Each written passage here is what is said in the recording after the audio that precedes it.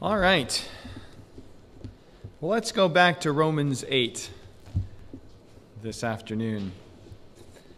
and let's con- consider this phrase in Romans 8, verse 31 If God be for us, who can be against us?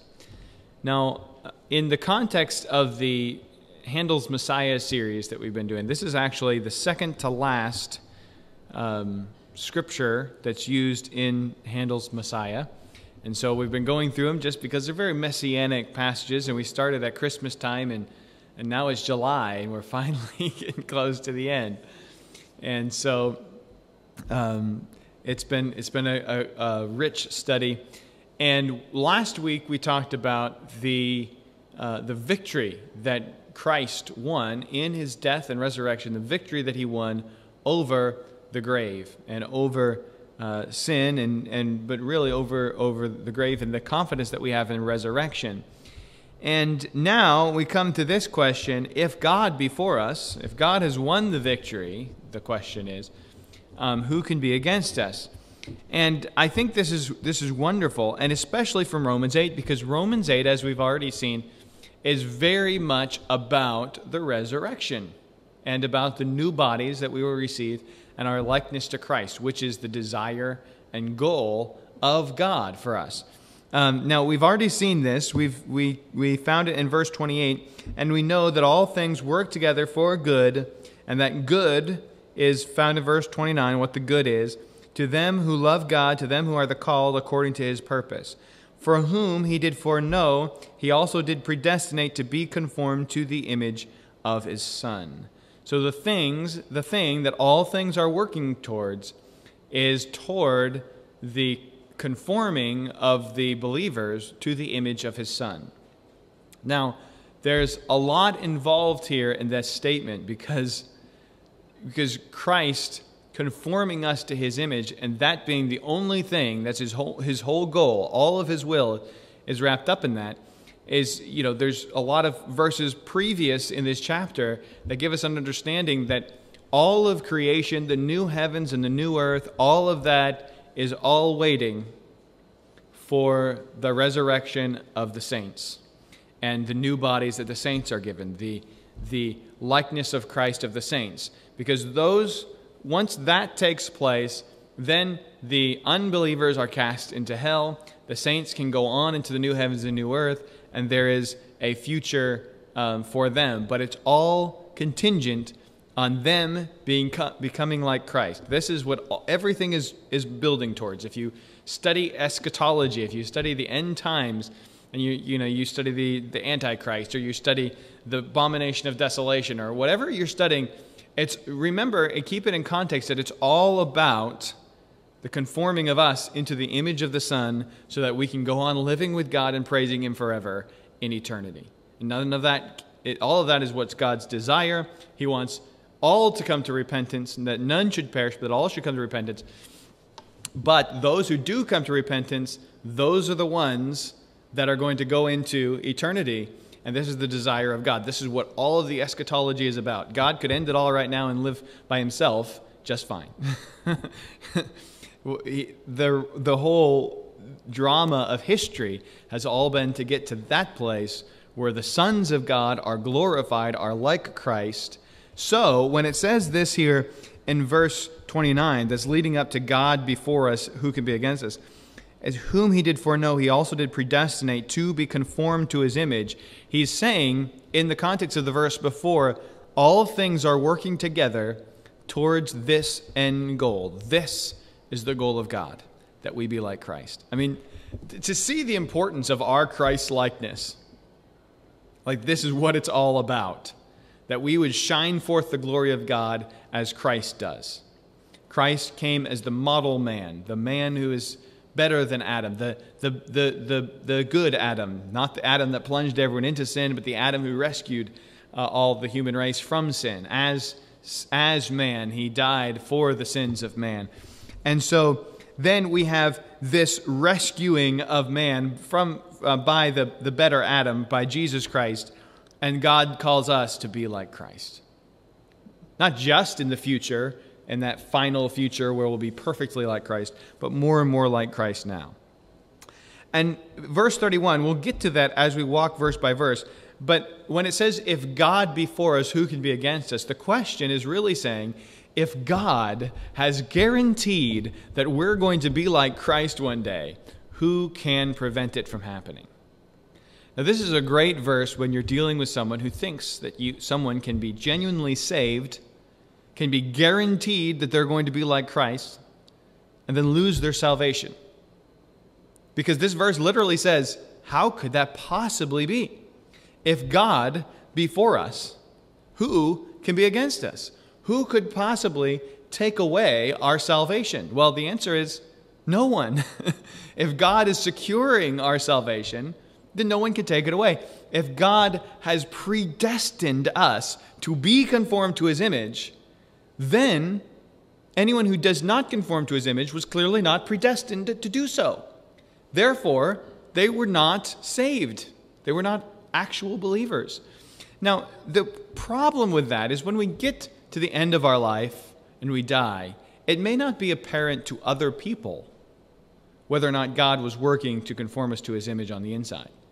Because, as we mentioned before, Paul was saying, I am a wretched sinner. Look at me, you know? So the outward appearance doesn't. so we see somebody who's living wrongly, who claims to be a Christian. We should rightly say, we have no confidence that that is actually true based on the way that you're living. But we cannot conclude for certain that they are not a Christian, uh, are not a believer in Christ, um, because it is possible that something more is going on on the inside and that God is working on them, right? But we can generally conclude that if someone is not choosing to live for Christ at all, they're uh, confronted with their sin and they say, I don't care, I want to do this. They don't really care about living for themselves and, and ignoring the, the standards of God and the holiness of God.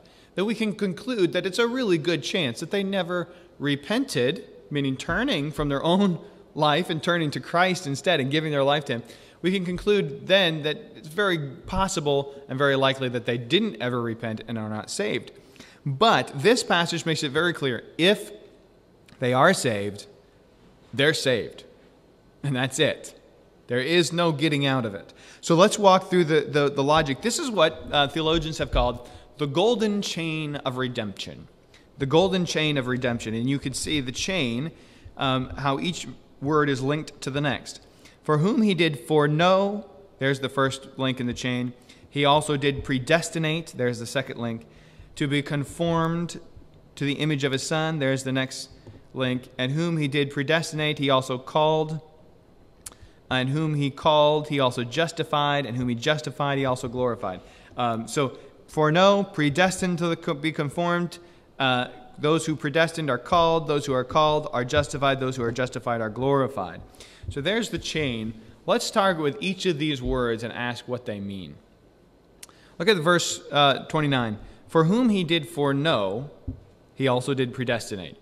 What does this word foreknow mean? And we know what the word predestinate means, right?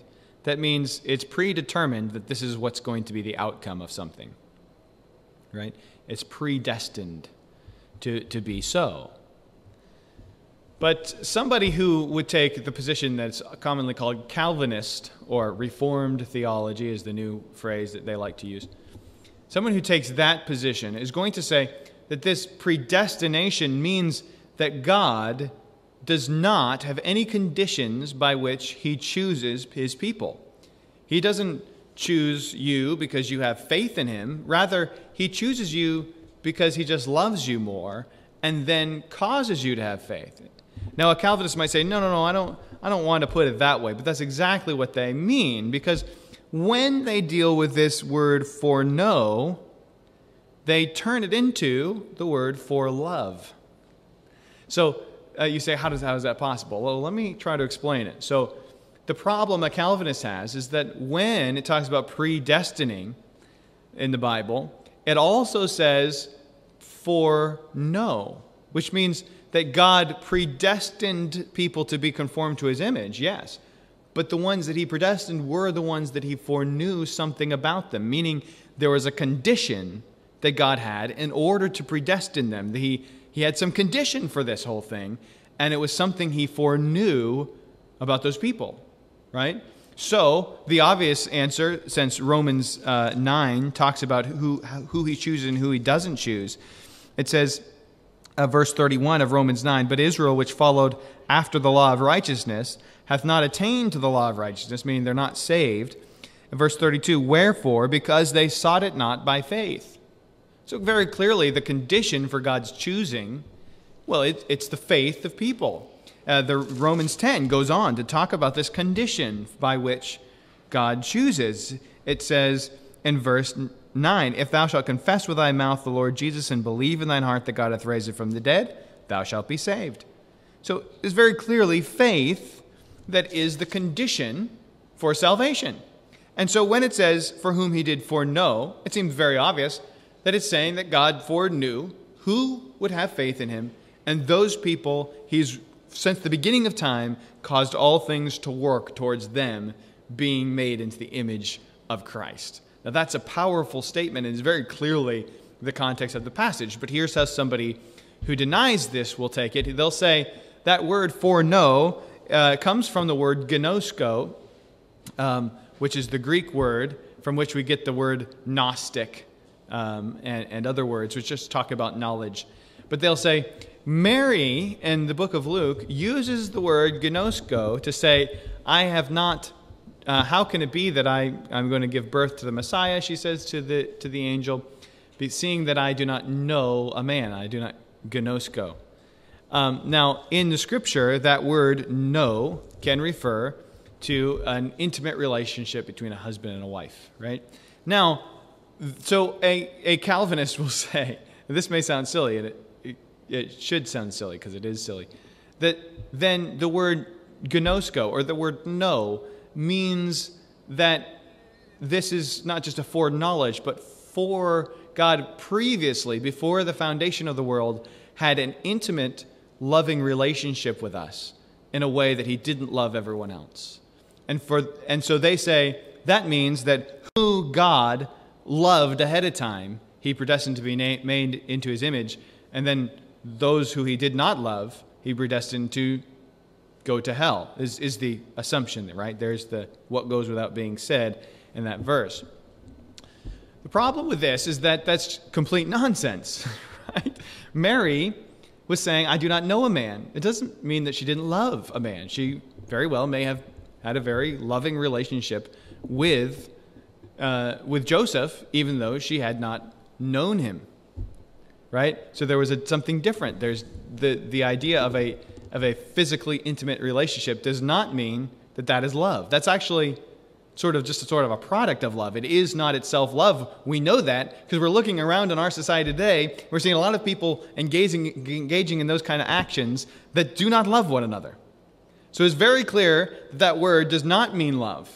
In fact, the word itself has a definition, gnosko. It literally just means to discover something uh, about something. Uh, and, and in a relationship setting, a lot of times it's is to discover something new that you had not known before about someone, right? Um, which certainly applies when you are um, first married, right? You're discovering something new. uh, but it's about the discovery, it's not about the love, right? So the word gnosko literally means uh, get this? No. I mean, fascinating that, that we actually have it right in the Bible. And literally, I don't, I don't think it's going to matter. I don't know of any translation in Scripture that's going to translate this as for love, but a Calvinist needs that to make their point. So, what we have here is the beginning of this chain of redemption starts with God's foreknowledge, clearly, of something that is his prerequisite for him to predestine you to salvation. Now, God chose you and predestined you to be made into the image of his son before you had faith in him. But God foreknew that you would have faith. God foreknew that you would repent by faith and become a believer. And so, because of his foreknowledge, he has already set, thousands of years before you came into existence, everything in motion for you to one day be just like Jesus in heaven. And all the things in your life, you know, that affect you, you know, let me just give you an example, right? You're driving down the road, you're, you're, you're getting, you're running out of money because, because the gas prices these days, you know, and, and you know what? We're, we're starting to go into darker and darker times in our country. And, and you just start thinking, you know, why would God allow all this to happen? Well, we talked about it in the previous message. All this is working out for our for our benefit to make us more like Christ. All of this works God's will. But you realize how much had to happen for all of this to happen? I mean, in order for America to go down, it first had to come up. That was hundreds of years ago when America started. You know, and before that there was a whole series of events that go all the way back to Adam and Eve that brought us to this point. And you realize that every little tiny thing in your life is the result of something else, the result of something else, the result of something else, the result of something else. So, literally, everything God's brought in, He started at the beginning of time. He's already predestined it all to happen the way that it's happening. Why? To make you more like Christ. Because He foreknew that you would choose Christ as your Savior. Okay? For whom He foreknow, He also did predestine to be conformed to the image of His Son. Moreover, whom He did predestinate, them He also called. So all of these things are previous the foreknowing us and the predestination. But then it says that we are called. Now, this word called is not the same as the word draw. When Jesus says, well, If I be lifted up on the cross, I will draw all men unto me. That means there's a sort of a drawing, a pulling towards him. And that, of course, is the case. Since Jesus died on the cross, the draw is not to uh, back in the Old Testament, Israel was to point people to the Father, to, to God Himself. Now, the church is to point people to Jesus, who is God, but specifically to Jesus, who is the Messiah, Christ, the Son of God. This is our, our, our goal. And Jesus said, as uh, when He's lifted up on the cross, He draws people to Himself. That is to say, like the beginning of Romans, that we all have this instinctive knowledge that we are, through creation, that we are sinners and that, we, that there is a God. And we have conscience that declares to us that we're a sinner. And because of those two things, we're all in some way drawn to Jesus, whether, whether it's in a uh, way that we're actually presented the gospel or we just know that there must be a gospel out there, we need to start looking for it, right? We all know that we're sinners and that there is a God we have to answer to. And this is the reality. So, we know that we're drawn, every person is drawn to Christ in some way. That's what Jesus said I'll draw all men unto me. But this does not say, whom he foreknew, he also predestinated, and whom he predestinated, he also drew. This says, whom he predestinated, he also called. Now, call, the call here, is just a word that means an invitation. It would be something that you would do. I mean, I suppose you, we could even use this word today. Hey, I called some so and so on the phone and invite them over for dinner, right? Um, but to, to, the, to the first century mindset, this call, this invitation would be you would be called to come to someone's house uh, to dinner um, or, or, or to, to an, an event, but usually it would be a dinner, or more likely it would be something like a wedding feast. You would be called to the wedding feast meaning you had an invitation, you had the right to be there. And it says here, all of the other stuff is previous, like whom he did foreknow, he also did predestine to be conformed to the image of Christ. And those who he predestined to be conformed to the image of Christ have the right to be like Christ. He's given them the invitation, he's given them the right to be like Christ. Now, just imagine that we have the right to be there in heaven, in, in the new heavens and new earth. We have an invitation, we have, we have a pass. Why? Because our names are written in the Lamb's book of life. And when we get there, us dirty, rotten sinners, because he foreknew us and predestined that we be made into the image of God, we have an invitation slip that says, I can go in. That's amazing.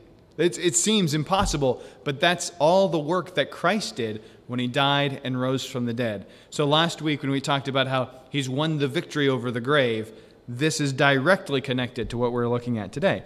So, whom he predestinated, he also called, and whom he called, them he also justified. Now, obviously, this has to be has to be taking place. Justified meaning made to be righteous. Now, we are not righteous. We're all sinners. We've all come short of the glory of God. But he invited us, he gave us the uh, permission to come, and then he justified us so that we are now before God, we have the standing, the righteous standing of Christ. We are justified in the sight of God.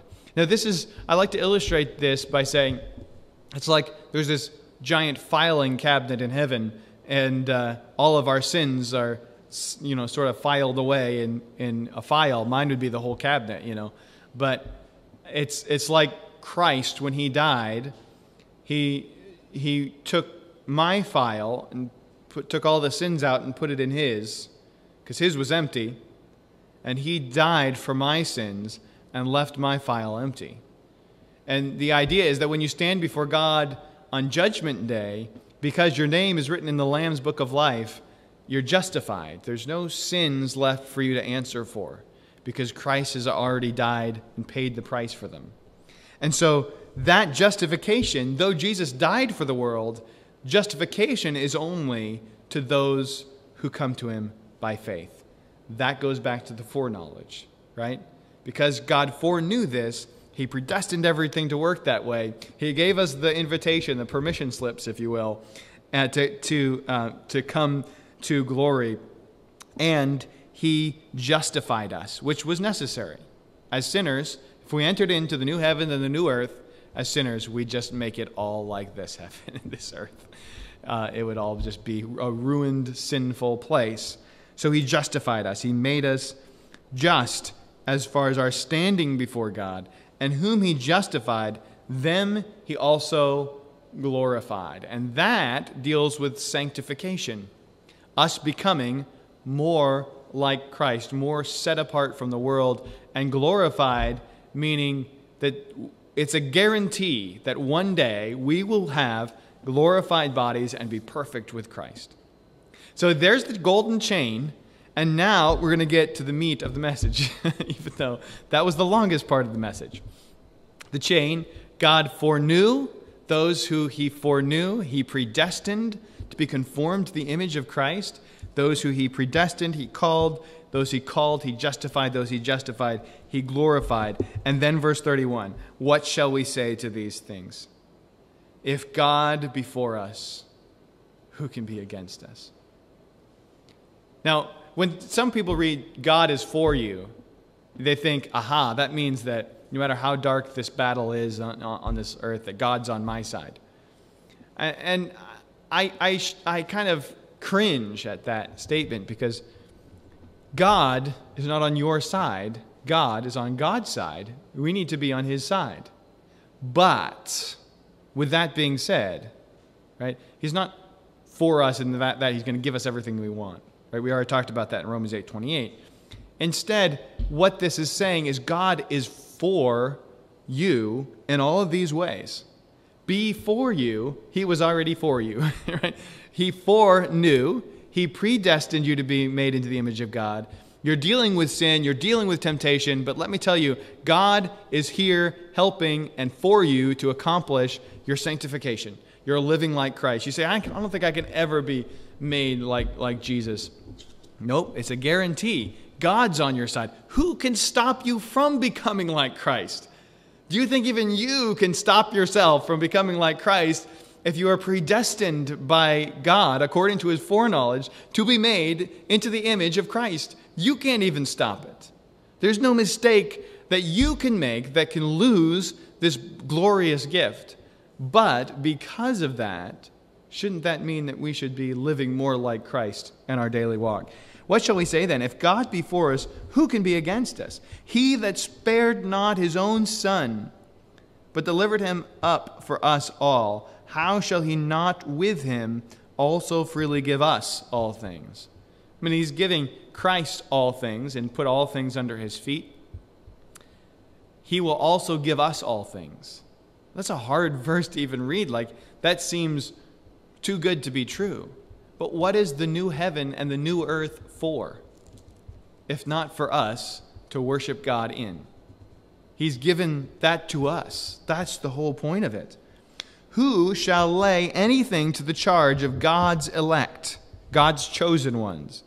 It is God that justifies, that justifieth. Now this is interesting. Who can who can bring a charge against God's elect because God has already justified them?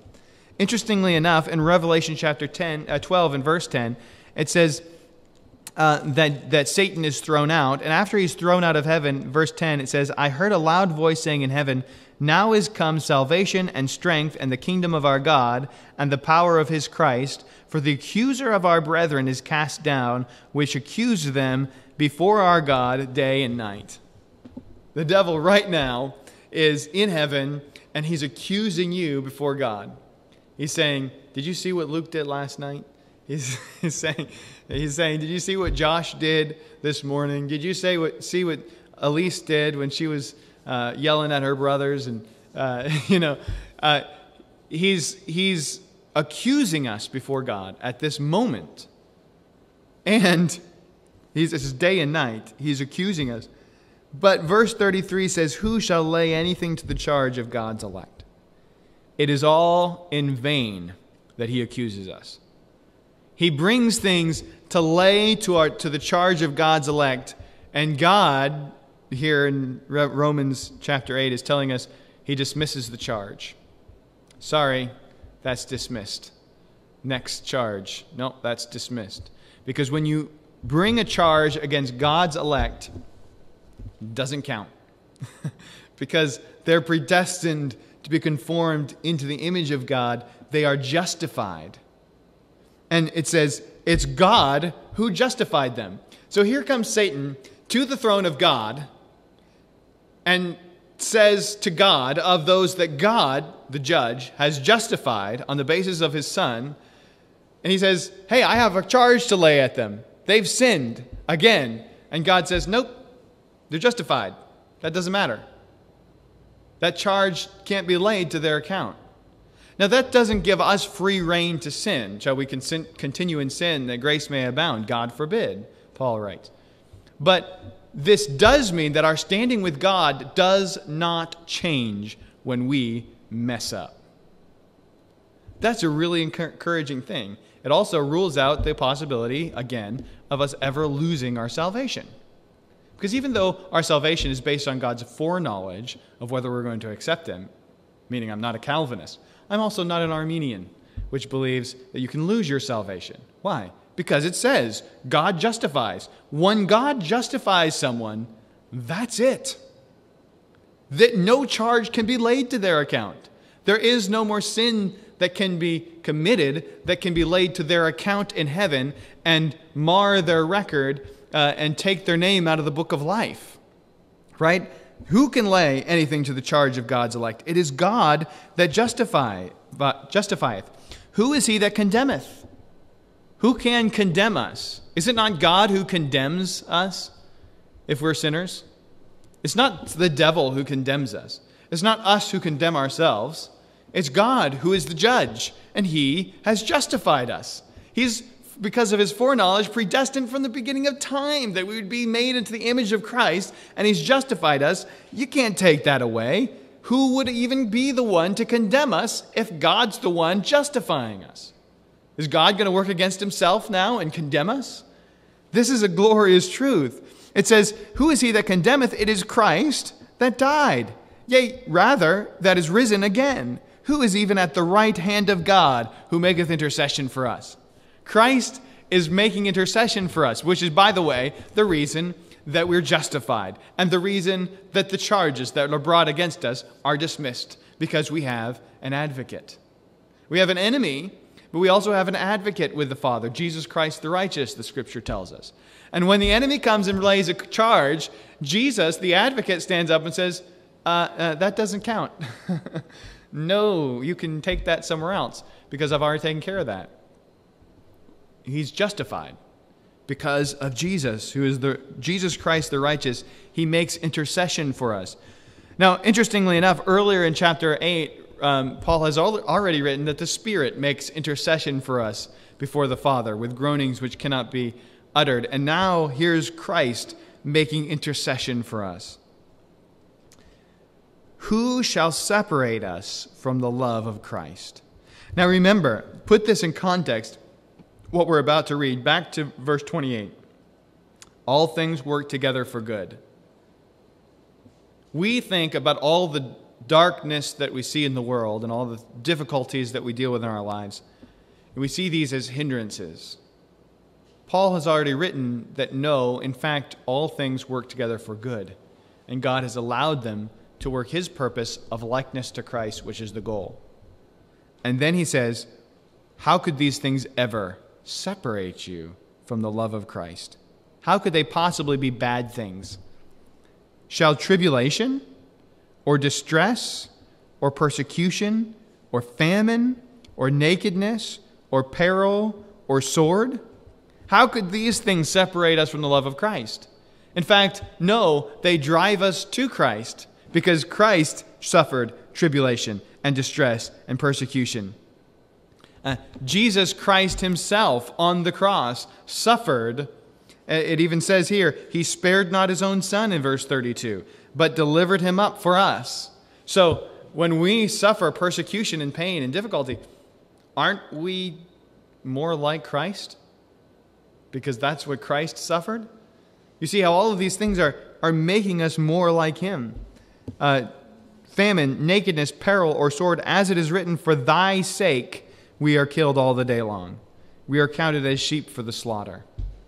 Yeah, we suffer, but we don't suffer for nothing. We suffer for the sake of God and for His will and His purpose. Nay, in all of these things, we are more than conquerors. It's not just that when these things come at us, we conquer them. This is kind of this is what I've always thought of when I thought of this verse. I'm a conqueror. But I missed the word more. It's not that when difficulty comes my way, I conquer it and come out victorious at the other end. No, I'm more than that. The difficulty itself is actually accomplishing good. Like, it's not that when I get through this tunnel, on the other side is a ray of light. No, the whole tunnel is actually accomplishing wonderfully good things. And it looks dark to me, but it actually is good. And it's we're more than a conqueror of these difficulties. These difficulties are actually accomplishing the will of God.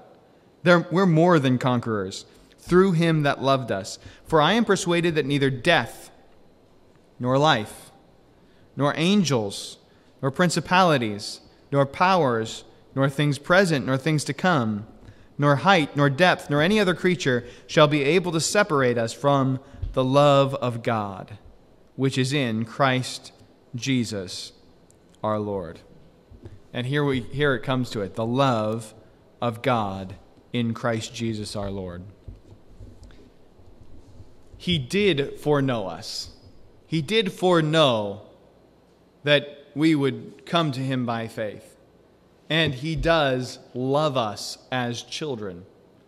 He does love us. Just like previous in the, previously in the chapter, it says, We cry, Abba, Father. We've been adopted into the family of God, guaranteed this glorious future with Christ. And it says, Nothing can stop it.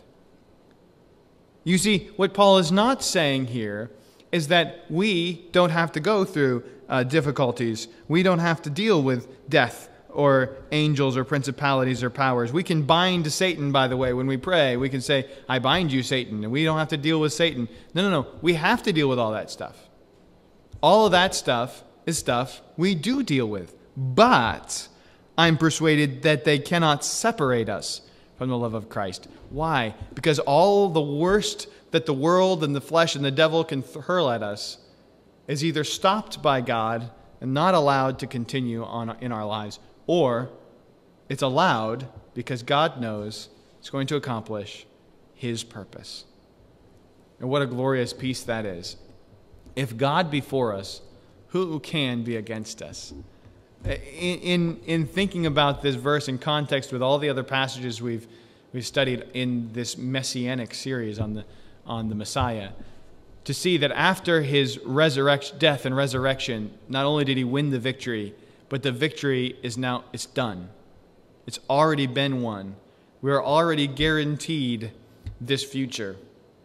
And now we're just waiting for it. And while we're waiting, we're to becoming to be becoming more like Christ every day. And I would encourage us to I would I would want to encourage everyone in this way this this afternoon. First, that we would not be discouraged in, in tough and difficult times because Christ is working something that's not necessarily ever going to be seen in this world, but we're going to find out later, all brought us closer to Christ. And second, that we would let the work of God do its work, that we would allow ourselves to be made more like Christ every day. You know, from the, from the little things to the big things. Something goes wrong, you know, uh, through the day. You're at work and something, man, that really bothered you, it really frustrated you, plagues on your mind. If you're like me, you're an overthinker. You, something small goes wrong and you think about it for 48 hours and stress over it. Instead of saying, wait a minute, God allowed that thing to happen to make me more like Christ. Let, let that suffering and tribulation have its work in you to make you more like Christ. And get out of the way. Stop praying against God and just saying, Lord, if this is what you want for me, then do your work in it, I pray. And let's have that attitude as we go through our, our week this week. Father in heaven, again, we thank you for your great blessings to us. We pray that you would help us to be more like Jesus. Thank you for the guarantee that we have that no one can lay a charge to God's elect. That no one can take away this glorious future that we have of being like Christ in uh, the new body, in the new heaven, and the new earth. But we pray, Lord, as we wait for it, that we would be heading in that direction, becoming more like Christ in our daily walk.